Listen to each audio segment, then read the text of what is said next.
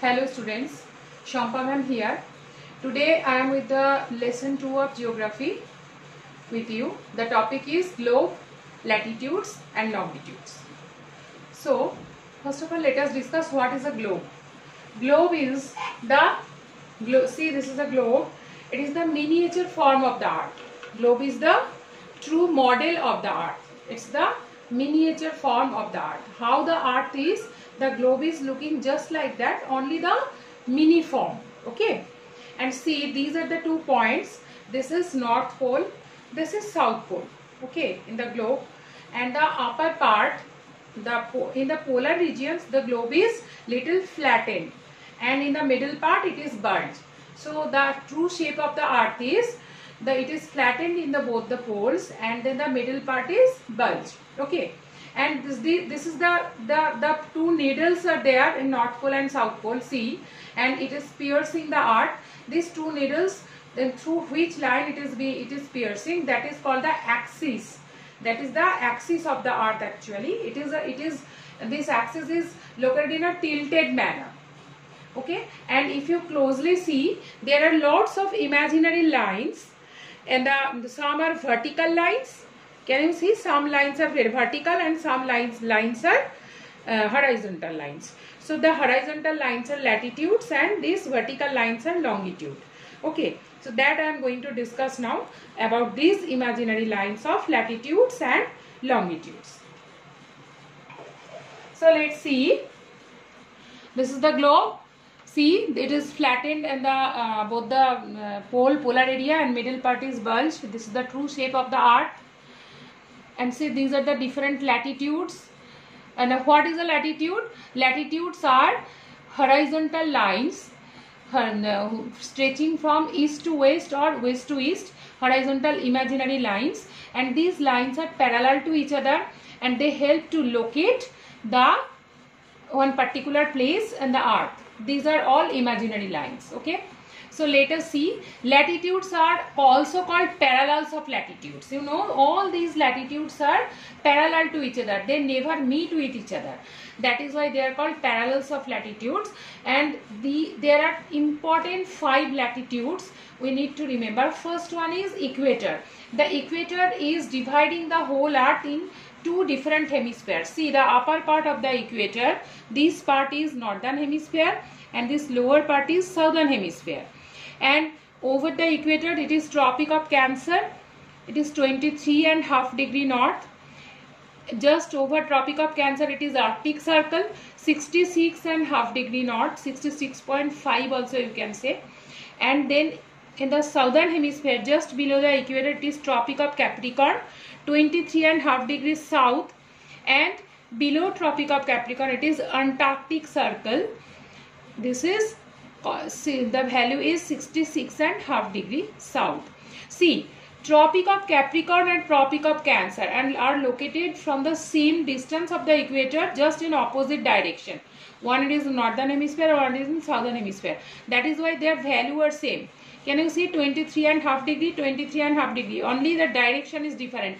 As it is in northern hemisphere it is 23 and half degree north and it is 23 and half degree south and the same is for arctic circle and antarctic circle also 66 and half degree north this is and 66 and half degree south so these five are the important latitudes or parallels of latitudes of the earth then let us discuss about the longitudes. See all the longitudes. This is the prime meridian.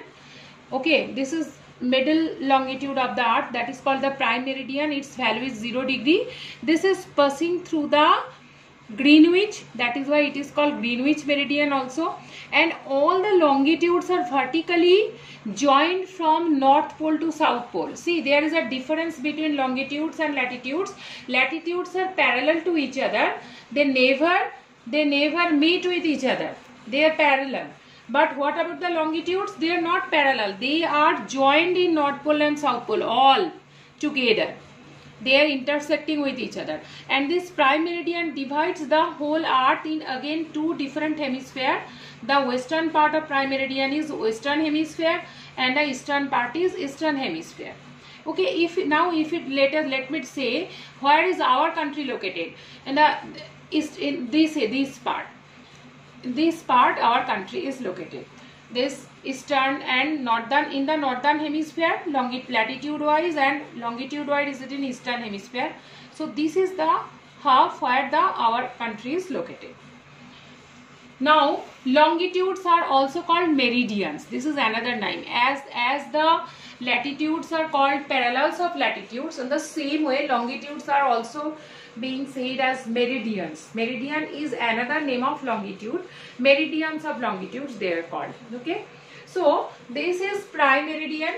See this is prime meridian and the places which are eh, away in the western part uh, of the longitude which are in the western part of the prime meridian these are 30 degree west or 60 degree west 90 degree west longitude. And in the same way 30 degree east 60 degree east 90 degree east longitude. And remember the prime meridian is located at greenwich in england. That is why it is also called greenwich meridian.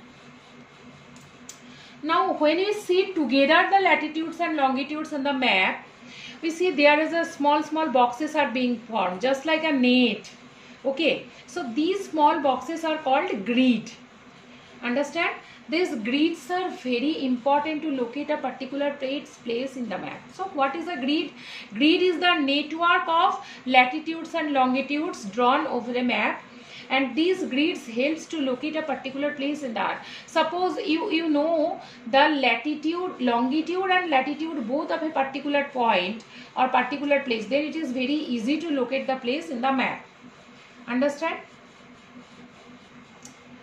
So this these are the grids, these small small boxes may form all the latitudes and longitudes together when it is drawn in a globe or a map. It is small boxes.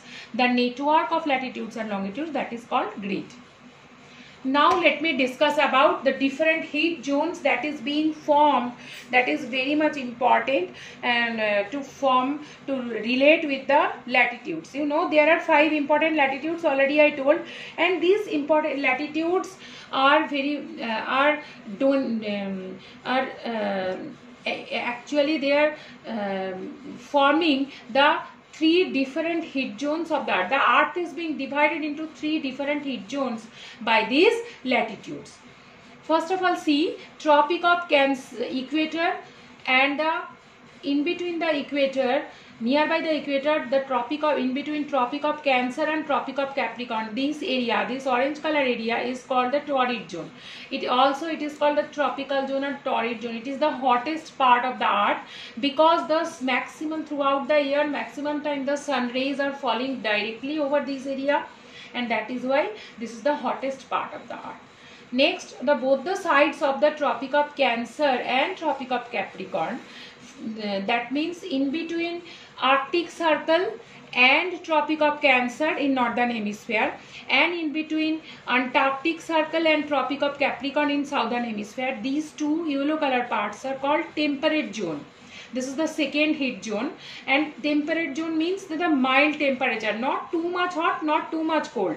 That means these areas are getting medium temperature and you know world famous grasslands are located here in this temperate temperate zone. Okay? So this is the second heat zone. And then a third is heat zone is called the frigid zone. Frigid zones are located in the polar regions. Let's see here.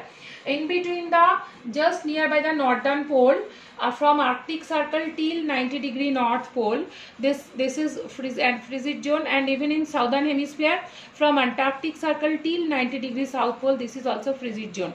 And these areas are extremely cold. And because throughout the year the sun rays are very less amount of sun rays are falling over here and sometimes it is not at all. That is why it is um, temperature is maximum time below 0 degree and that is why it is called frigid zone. So let me tell you again there are three important heat zones. The world has been divided into three important heat zones according to latitudinal extent. The first one is torrid zone. That is nearby equator in between Tropic of Cancer and Tropic of Capricorn. The second one is temperate zone. That is Uh, in between Arctic Circle and Tropic of Cancer and in the southern hemisphere in between Antarctic Circle and Tropic of Capricorn. And the third heat zone that is the import, most important another most important heat zone that is frigid zone just near the polar regions. in the North Pole and South Pole. Next is, so this is a, this picture either this one or this one about the frigid zones or one picture of of um, heat zones are there in your textbook also so you can complete this. You can draw it in your notebook. Now students there are assignments for you. What is a globe? The globe is the globe is the true model of the art or the miniature form of the art okay? Then next question is what are parallels of latitudes and meridians of longitudes. Let me tell you parallels of latitudes are the imaginary horizontal lines stretching from east to west over the earth. And these help to locate a particular place in the earth. And what are the meridians of longitudes? Meridians of longitudes are vertical imaginary lines stretching from north pole to south pole and they are intersecting with each other in both the poles and both the parallels of latitudes and meridians of longitudes help to locate a particular place over the earth's surface. Now the next question, what is the true shape of the earth? What is the true shape of the earth? Already I told you, if you see in the globe, the true shape of the earth is, um, it is flattened nearby the poles and in the middle part it is bulged. Okay, that is the true shape of that. It is not totally round. The flattened in the pole and the middle part is bulged. And the next question is define grid. So what is a grid? Grid is the network of parallels of latitudes and meridians of longitudes over on the map or on the globe. Next diagram, you have to draw the diagram of heat zones of the earth. For that you can refer to your textbook also that is uh, there in your textbook or whatever the PPTs I have shown you? Either this one or this one. So students complete your assignment, do your work and don't go for buying any software or anything. And uh, whatever videos we are giving an assignment that is enough for you. Okay thank you